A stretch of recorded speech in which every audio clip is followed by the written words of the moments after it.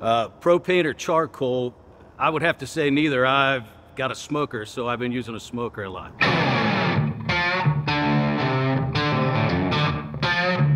My name is Jeff Rullman. I'm a project manager with TP Mechanical Contractors.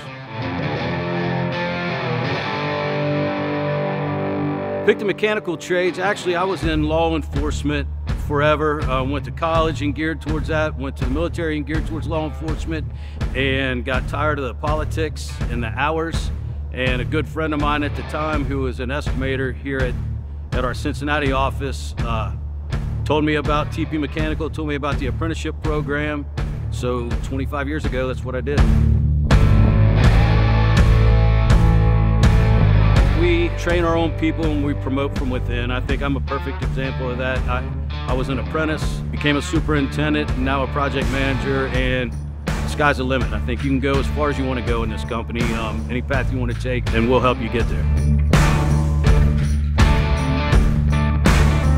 My favorite thing these days is being able to go out into the field still, um, hang out with the guys. Like I said, I spent 20 plus years out there with them, and uh, I still like the chance to be able to go out and hang out with those guys and visit job sites. This is the best company I've ever seen or heard about. I, I know a lot of people that travel around and try different companies. Um, this is the only place I've ever been, and I keep my ears open and listen to the feedback from some of my peers that I know went to other places, and this is by far the best company.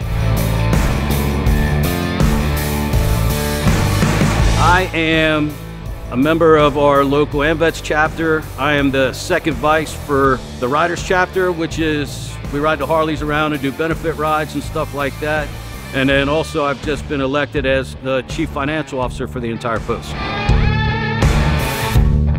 Well, I would say cornhole, much better.